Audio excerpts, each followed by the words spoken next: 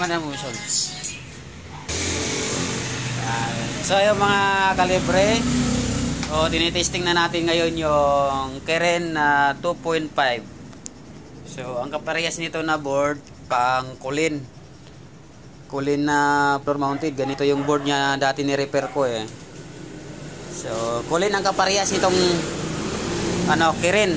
So ang problema nito itong isang MOSFET shorted saka diode. Yan yung pinalitan ko. MOSFET saka diode. So tinitingnan na lang natin kung gagana. So abangan natin to. So dinala yan dito. Error E6 ata yung error na itong dinala dito. Kasi walang power tong outdoor. Kasi shorted yung MOSFET nga saka diode. So antayin na lang natin anong magiging ano nito? Kung under ba o mag error so yung mga kalibre gumana na yung ano natin. Yung pan motor. So natin ang compressor kung gagana.